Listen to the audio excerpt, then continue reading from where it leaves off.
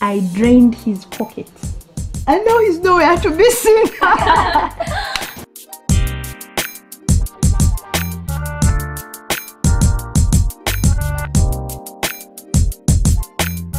You know what? He's always been my one and only. Really?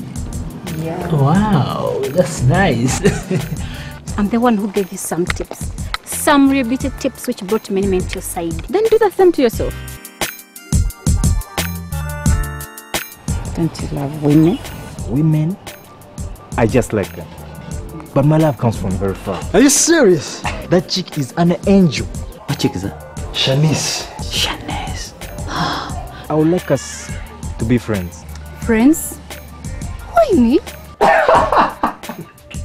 Get the real love, man, this boy. Drinking ain't a crime. I can only do that if you accept to be by my side. I promise. You can't pay me back like that. Talking to someone doesn't mean much. And oh, I mean no, and stop wasting my time. I think you're also wrong from another dimension. And it's becoming too much for me to handle. But as for the challenges we face now, these are the campus times. Times when so many things happen. Don't you ever say that again, you tweet. Do not scare them, boy. You guys are just crap. I'm not talking to you, damn And I'm not talking to you. Shut up, Ollie. It's Try it, bastard. Try it. To me, you look like some broke, frustrated street boy. And who's that nigga? He's a new guy called Dave. And he's in the same class with us. Leave everything to me.